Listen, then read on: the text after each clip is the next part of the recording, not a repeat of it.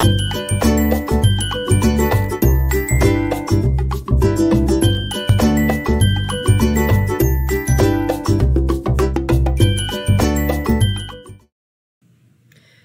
back, everyone. We are talking about investigations of more about the food product health claims that are valid in Canada. And over the past uh, series of videos, we've talked about the fact that Health Canada and the Canadian Food Inspection Agency have very clear guidance about what can and can't be said on food product labels. And so oftentimes, uh, food companies want to say, oh, well, eating this food will cure the hiccups, or eating this food will prevent this disease, or um, right now, one that's very popular is being able to make statements about immunity, and eating this food will improve my immune function and uh, prevent COVID.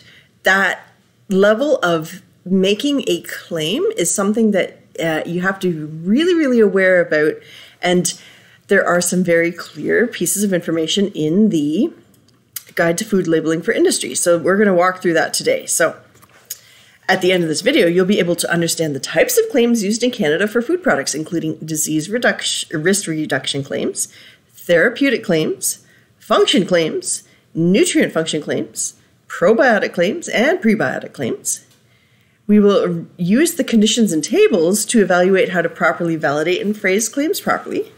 We'll review the novel health claims assessments and we'll apply general health statements and implied health claims appropriately for food products. Is there are uh, some general things that you can say as long as you're being very particular and careful about it.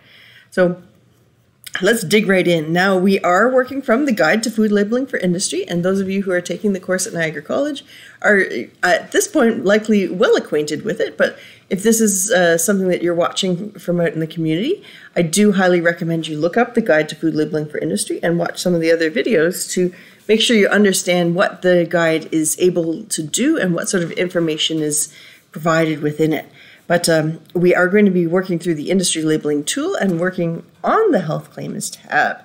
And in a moment, I'll jump out there and find it with you. But just a quick reminder under the Food and Drugs Act, under Section 3, no person shall advertise any food, drug, cosmetic, or device to the general public as a treatment, preventative, or cure for any of the diseases, disorders, or abnormal, abnormal physical states. And so, what does that imply? It just implies that we have to be very, very particular about how we can state any sort of health or nutrition benefit from a food product and be very, very deliberate about it. And in a moment, we'll talk about Schedule A diseases. But uh, uh, there's not supposed to be a line there, it's just a formatting thing. But uh, Section 5 of the Food and Drugs Act no person shall label, package, treat, process, sell, or advertise any food in a manner that is false, misleading, or deceptive, or is likely to create an erroneous impression regarding its character, value, quantity, composition, merit, or safety. And so this is another scenario that is really important with respect to nutrition uh, and health claims, in that you've got to make sure that your facts are all lined up and that anything that you are saying is is going to be truthful and not misleading about the the capabilities that that food product is going to deliver. I, I always joke and say, well, one of my my imaginary health claims that I always want to do is this food will cure the hiccups. I every time I eat bread, I get the hiccups, and I'd love to find a cure for the hiccups.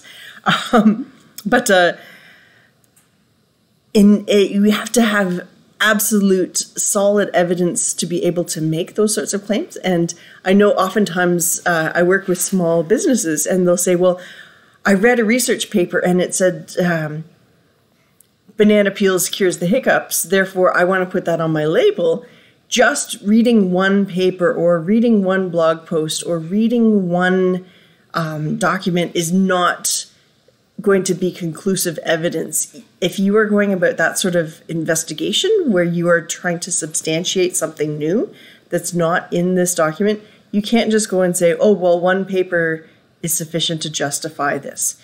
Nope, there's a much more extensive process, and we'll talk about that briefly.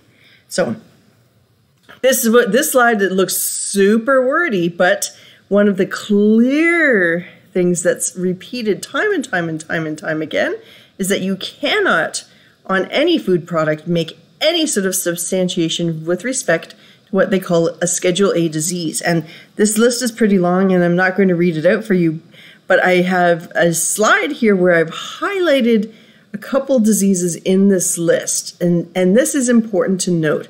So, first off, you cannot make any claims with respect to acute infectious respiratory syndromes. So, for example, there have been small businesses that I've talked to recently where the like, oh, well, you know what? We think that we'd like to be able to position this because it's good against COVID. And they're like, nope, that's a Schedule A disease. COVID is a infectious respiratory syndrome, and therefore you cannot make any statement of claim with respect to COVID on your food product. Uh, some other ones, uh, some certain diseases that are very diet related.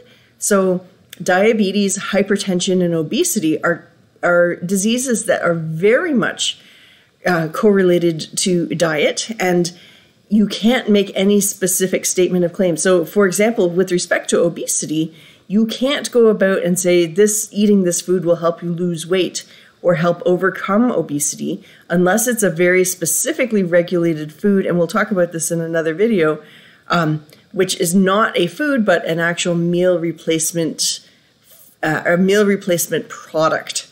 And as such, then it is regulated differently from a nutrition perspective, but it can, then can have weight loss oriented claims. You can't just put it on any type of food that you want.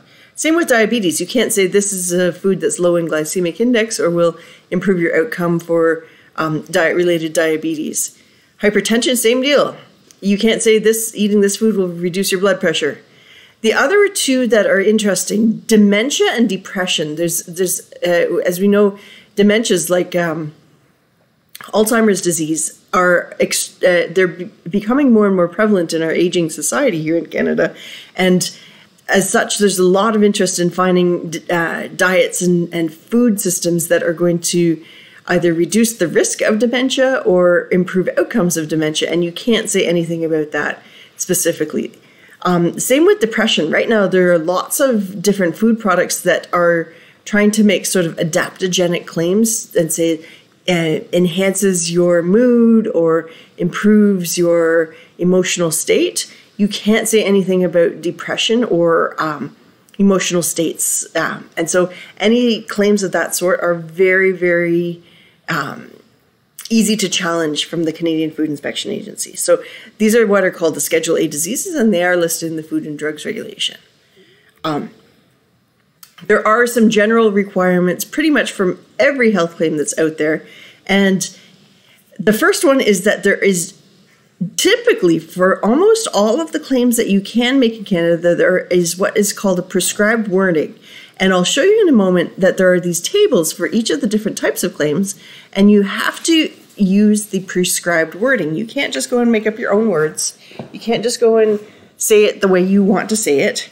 You have to use the prescribed wording. And the nice thing is that prescribed wording has to be in English and French, but if you flip the language, the official language, you can find the parallel statement in French so you know what that prescribed wording needs to be.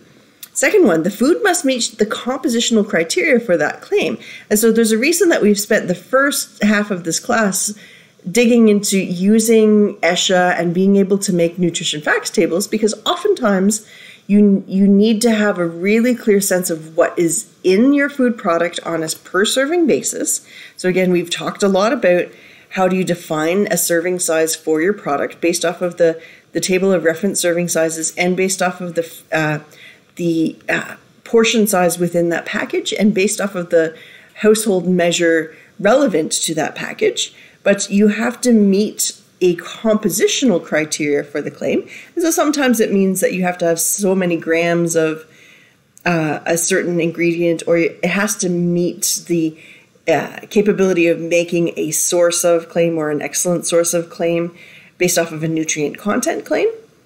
But there are clear compositional criteria that most of the health claims require. And last but not least, the label or advertisement must state the specific information required for that claim. So let's say, for example, you wanted to make a claim that, um, I don't know, that coarse wheat bran improves laxation. You would have to state on there that you have all of the specific information. So you must eat so many grams of coarse wheat bran to fulfill this claim. It becomes a bit awkward. And so there's a reason why there's a lot of regulation behind this, in that everything needs to be clear and mis- not misleading and with a very strong evident, evidence background. But at this, at the same time, there's um, having all this regulation allows for an even even playing field. That where the inequality occurs is that people don't realize that they could be going into the guide to food labeling for industry and reading up and digging into the regulation to understand exactly what can and can't be said. So often the regulations are seen as being opaque and that people don't understand where to find the information. That's why we're making these YouTube videos to help you out. So we've covered the general requirements here. Oh, I had highlighted it. So again, just to reiterate, you have to use the prescribed wording, you have to meet the compositional criteria, and you have to put the specific information that's found in each of these tables so that that specific information is in your label or on your en- any advertising material that you're using. Now, let's jump into some of these claims, and I'm actually going to flip back and forth between the uh, PowerPoint and the guide to food labeling for industry. And so, again, if you haven't watched the video about the guide to food labeling for industry, I highly recommend you watch that so you understand uh, some of the information that's there. But first, let's start with disease reduction claims. And a disease reduction claim implies that if you are consuming a certain food, um, that food is going to help reduce the risk it's not going to eliminate it, but it's going to help reduce the risk of a certain disease. And here's an example of one. A healthy diet with adequate calcium and vitamin D and regular physical activity will help to achieve strong bones and may reduce the risk of osteoporosis. Naming this food, maybe it's milk, is an excellent source of calcium. You have to use, if you remember the, the cardinal rules, you have to meet the prescribed wording. This is the prescribed wording. Let's jump out and take a look at disease reduction claims in the Guide to Food Labeling for Industry. I have pre highlighted all these wonderful tabs. I'm going to close that one.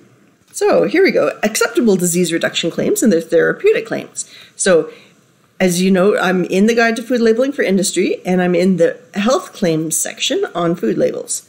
So, Acceptable disease reduction claims. So, some general overall rules. I'm going to let you read this on your own, but I'm going to just jump out and highlight some of the, the top level important elements here. So, you have to meet the compositional criteria and you have to meet the labeling and advertising requirements. It's listed in a table here. So, as I mentioned before, what's really clever is for most of the different health claims, they have established some tables that help summarize all the information that you have to have. So, you have to use that prescribed wording, you have to meet the compositional requirement, and you must state the specific information. So, let's take a look at an example here. Here's a disease risk reduction claim with respect to sodium and potassium. So let's read this out. A healthy diet containing foods high in potassium and low in sodium may reduce the risk of high blood pressure a risk factor for stroke and heart disease. Naming this food is sodium free. So maybe it's, um, I don't know, perhaps it's crackers. This the crackers that you formulated are sodium free.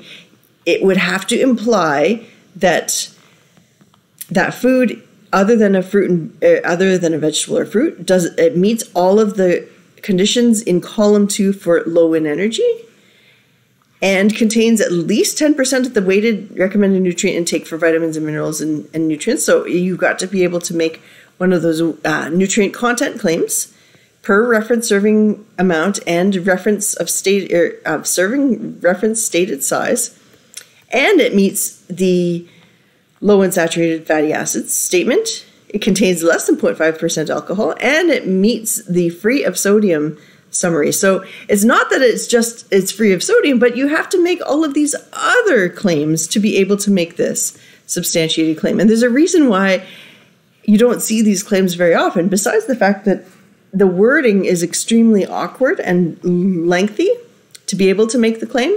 You have to meet all of those conditions. You can't just meet one of them, you have to meet all of them. So it, it's it just carries on. It just carry. It, you have to have if you're making this the potassium part of the claim, you have to have 350 milligrams or more of potassium per reference data size and so on. And the thing is, if you're going to make any of these claims, you've got to read through the table to make sure that you are fulfilling all of those conditions for the food. And then there is that condition for the label. So the label has to be, um, if it's made on the label or in an advertisement, you have to um, make sure that the amount of sodium and potassium per serving is in accordance with the, the regulations. And it doesn't apply if it's on a fresh fruit or vegetable. And if you are making this sort of claim, if you are in a product that is otherwise exempted, you now have to make a nutrition facts table. So this is where that level of complexity increases. Now, how about some disease risk reduction claims with respect to calcium and vitamin D? Here's one a healthy diet with adequate calcium, vitamin D, and regular physical activity help to achieve strong bones and may reduce the risk of osteoporosis. Naming this food as a good source of calcium. And those in column one are the things that you can say about calcium and vitamin D. So you can say things about foods that are high in calcium, and then you have to fulfill all of the components in column two in terms of the percentage of all those different uh, components within that food product. And then you have to fulfill all of the components within column three. And so while it's it's very wordy, you do need to go through and read it. I'm not going to read it all for you. Um, how about uh, risk reduction claims with respect to saturated and trans fat? That's another class that's in here. You can do risk reduction claims with respect to cancer risk reduction. And you're like you're likely saying, wait a second, we were just told that we couldn't make any any claims with respect to class A diseases. Well, we're not we're not curing cancer we're reducing the risk of cancer. And we saw up in the other section about sodium and potassium, we were dealing with hypertension. Well, you can't just go out and say reduces blood pressure. You have you have to work within the substantiated claims that are allowed. And in this case, this is one of those substantiated claims that is allowed. You can't just go out and say blood pressure, blood pressure, pressure. Here we're, we're sort of it's it seems like it's um, a double standard, but no, it this is just the way it is, and you need to be aware of it. So we've got all of these different disease risk reduction claims. Now we've got one with respect to heart disease and risk reduction, and eating a healthy diet rich in a variety of vegetables and fruit may reduce the risk of heart disease. How about disease risk reduction claims with respect to dental caries? So eating this will not cause cavities or will not promote tooth decay. You likely have seen it on certain sugar free chewing gums. And so to be able to do it, you also, and this is another one of those also, you have to also then fulfill the legibility, the bilingual labeling requirements, and you have to have the nutrition facts table if you're going to make the claim, other than on fresh fruits and vegetables without any other added ingredients. Any of these claims triggers the requirement for a nutrition facts table. And we've stated it before, you have to use the exact wording of the permitted disease reduction claim. And so you can't put numbers, words, or symbols in there to manipulate that. Um, so you can't put any intervening information in there. And so that naming of the food, it has to be a, it can be a brand name, but it also has to accompany a common name. So you can now understand why why it's it's uh, messy. You can't just put your brand name in there. So let's say you are making a breakfast cereal, you can't just say cereal. You have to put in the brand name and the common name of that product. And it gets better. That's just the disease reduction claim. So let's jump back and remind ourselves what's the next one that we're working on. So again, uh, if you're making a disease reduction claim, you do need to go through and read it. Let's take a look. Oh, food function claims. So these are specifically for three core ingredients are pre-approved and then there is scientific research just like with the list of incorporation there are now additional lists where they're going about so three of the three of the ingredients are enshrined in the food and drugs regulation and then the rest of them are in the lists of approved in, um, food function claims. So let's jump out there. But it, right now, it's coarse wheat bran, green tea, and psyllium that are in the Food and Drugs Regulation. And you have to, again, follow that prescribed wording. So naming this size serving of this product provides so much fiber from psyllium seed. Consuming 3.5 grams of fiber from psyllium seed daily promotes regularity. And you're like, yay, wow, that's that's really wordy to be able to say that uh, this product makes you regular and increases uh, your bowel movements. Um, let's jump out and take a look. So we were looking at uh, function claims. They used to be called structure function claims. So as we mentioned before, we have some conditions. You can't make drug er, representations. You do have to fulfill the language requirements. If you are making a function claim, you have to have a nutrition facts table you do have to have that quantitative statement. So you have to make sure that you are fulfilling the quantity that's necessary. And there are a few examples where you can make the claim but not have it there. So, for example, if the quantity is far less, then you can make a clear declaration. There is the scientific research section. And again, it's not that, oh, I read one paper and therefore I've done scientific research. No, you have to show a comprehensive literature review and then send it in for pre approval from the Canadian Food Inspection Agency and Health Canada to have that uh, approval done so that and, the, and then the challenge is that that approval is not specific just to your company the moment that you have that approval any other company can use that same uh, research to advance their claims as well so there's a whole burden of evidence and a whole burden of what the physiologic effect has to be to be able to prove a newly researched claim. So there are there are descriptions of what defines a really good claim and so there are very specific claims that can be stated in this in this format. So these are some of the claims that are coming from the scientific research component and it has to be extremely specific and cannot be just vaguely put out there. Now, here are the ones that are enshrined within the Food and Drugs Regulations. So, coarse wheat bran, naming this serving. So, let's say it's a quarter cup of naming the products. Uh, bran flakes, bran cereal contains seven grams or more than seven grams of fiber from coarse wheat bran, which promotes laxation. And as you know, laxation means having a um, good bowel movement and honestly, some of these structure function claims are very eh, eh, they're they're they're almost awkward to say because a lot of them just relate to regularity. Um, and again, we've got those three columns. What's the other piece of the puzzle? What are the conditions of use? You have to meet the regular or the reasonable daily intake of that food product, and you have to um, yeah all these all these different conditions you you have to go through and parse through exactly what you want to be able to say. Green tea leaves again another one that's enshrined in fdr so having green tea consumption of one cup of green tea helps protect blood lipids from oxidation. And the green tea infusion has to include at least two grams or more of tea leaves per 250 mils or one tea bag containing at least two grams of tea leaves or a reconstituted green tea product with at least 0.8 grams that would be equivalent to two grams. And you have to make a precautionary statement that if you consume more than nine cups per day, you should not you should not because of the caffeine content. Again, you have to fulfill all of these components to be able to make that initial claim.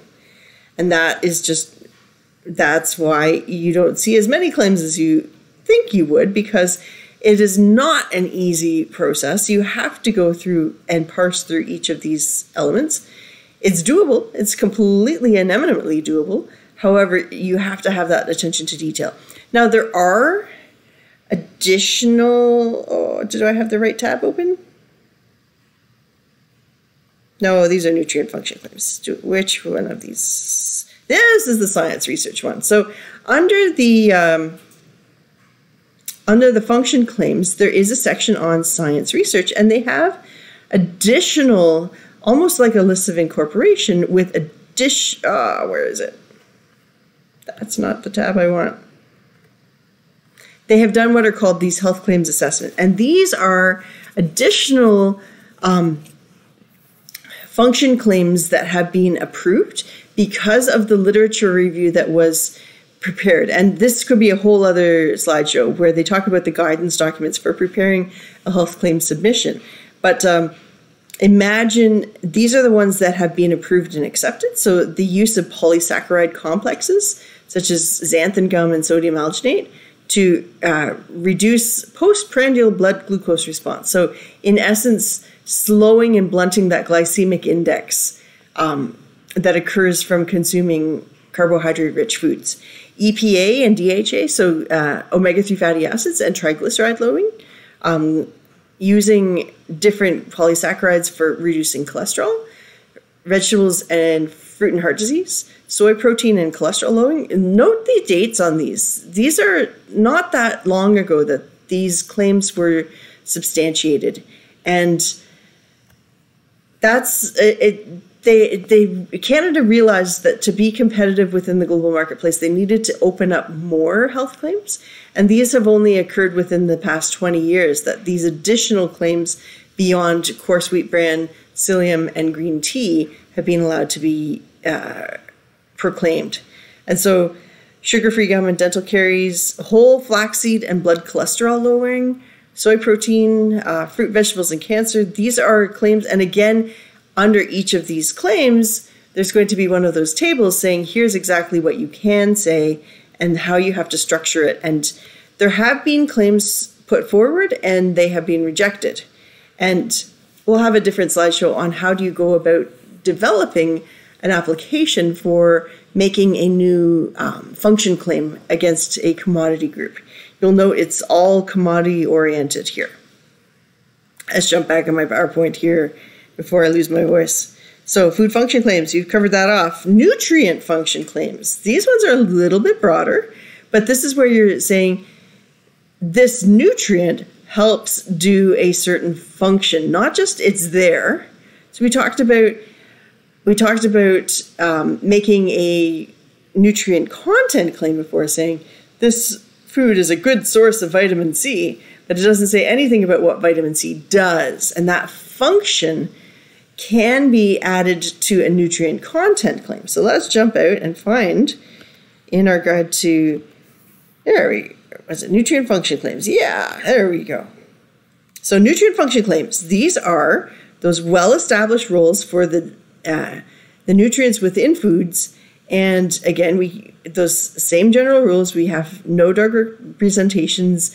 You have to meet the language requirements. You have to make declaration of the amount of nutrient and have a nutrition facts table that accompanies. And you have to make sure that you have appropriate quantitative um, information about the nutrients that are there. So let's jump right out there. So if you have uh, certain nutrients, so we've talked in a different video series about being able to make a source of protein claim. And that source of protein claim implies that you have a PER value of at least 20. And it, to make an excellent source of protein rating claim, you have a PR or protein rating or PER value of 40. You have to be able to fulfill that on top to be able to make a general uh, nutrient function claim with respect to protein. The other ones in terms of vitamins and, and minerals, you have to meet that minimum 5% daily value, except for in the case of vitamin C, which um, you have to be able to make the source of claim to be able to do that. And you have to, of course, have that nutrient uh, nutrition facts table. Let's find the general nutrient uh, nutrient function claims. Energy is a factor in the maintenance of good health. Energy is a factor in normal growth and development. Well, that's really descriptive, isn't it? Um, but honestly, these this is the sort of fantastic stuff that you can say. And depending on how you market your product, this could be useful. But in general, it's pretty it's pretty generic.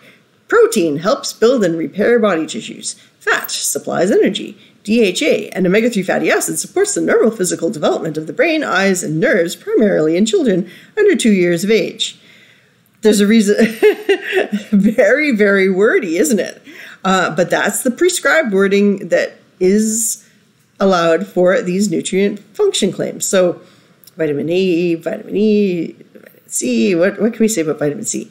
Vitamin C, a factor in the development and maintenance of bones, cartilage, teeth, and gums. It's a dietary oxidant.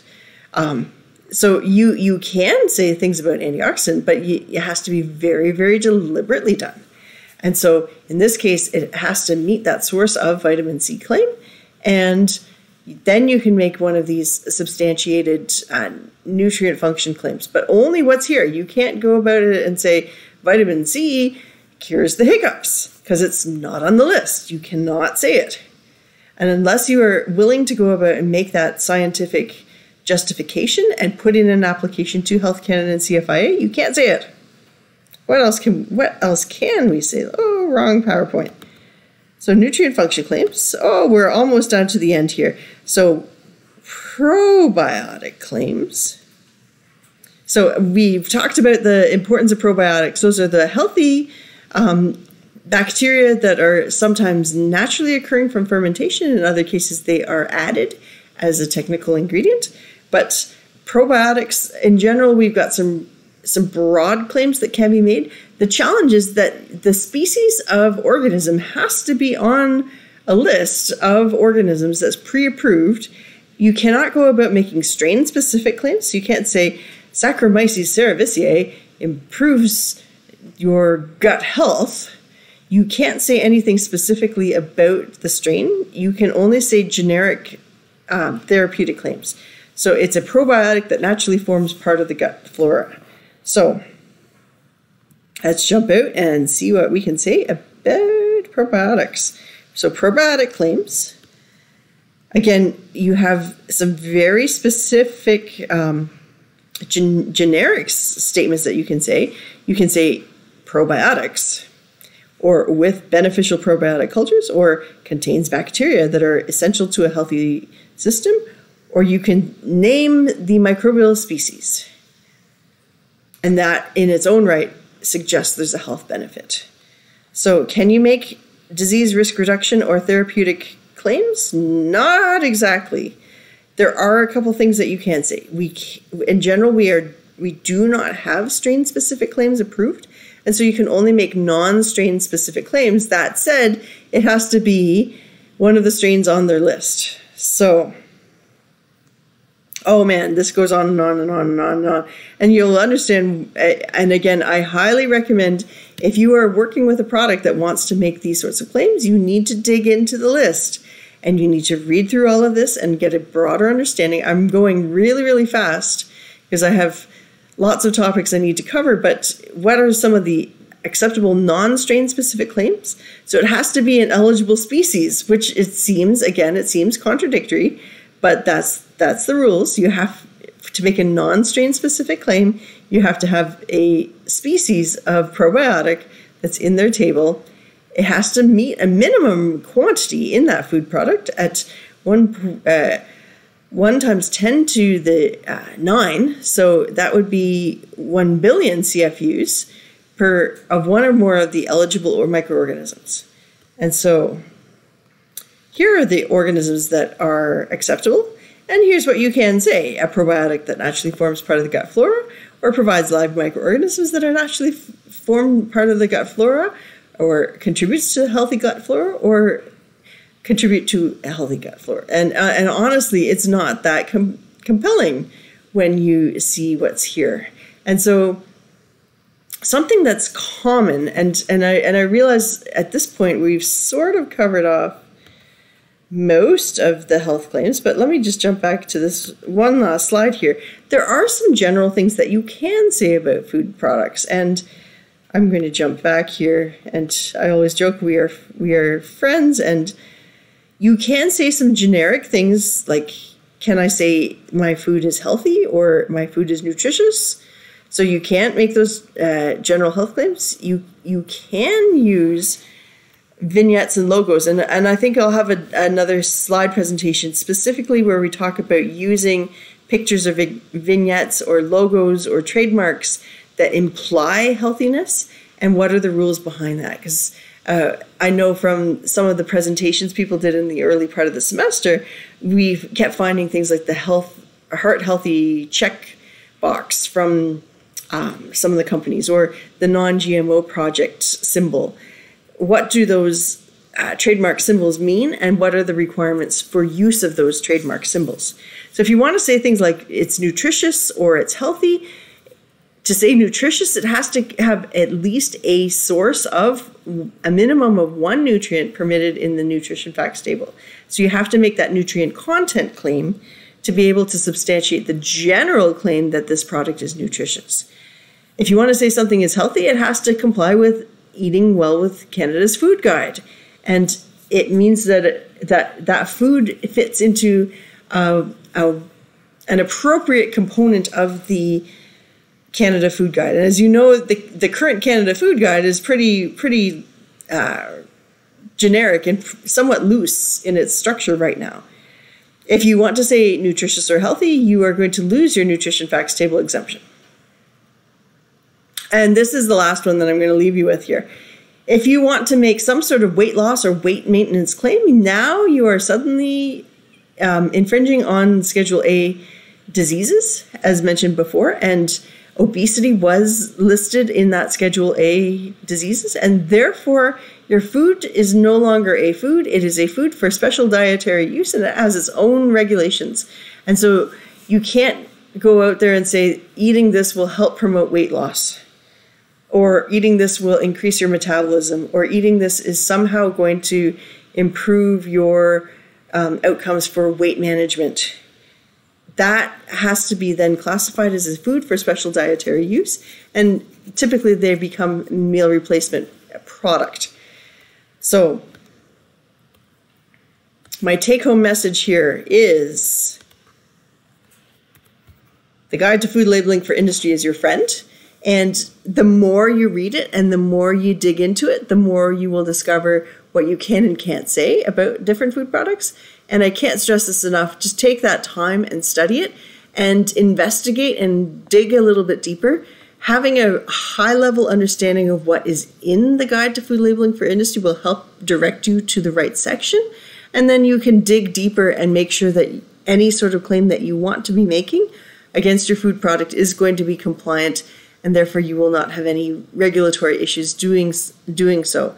We will have some other slideshows talking about how can you prepare a challenge to what you can make for a health claim, but note that it's a long and um, deliberate process where you have to do an extensive scientific review. So, you know where to find me if you have questions. I do enjoy hearing your questions, and I do have some uh, Q and A videos that I want to make that are in the hopper because I've had some great questions come in recently. Take care, have fun with um, health claims, and we'll talk to you again real soon.